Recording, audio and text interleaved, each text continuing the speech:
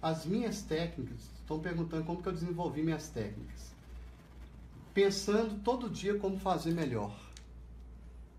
Acreditando que é isso que eu quero, queria da minha vida. Entendeu? É pensando todo dia como fazer diferente. Pensando todo dia como não ser mais um pintor. Tentando descobrir novas, novos efeitos. E outra coisa, tentando facilitar a pintura. Tentando facilitar a pintura. Porque eu sei o tanto que muita gente acha que pintar é difícil.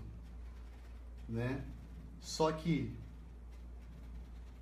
se você não sabe preparar o seu material, se você não tem ainda a, a, se você não tem conhecimento do princípio, às vezes é muito mais difícil você atingir um objetivo, tá?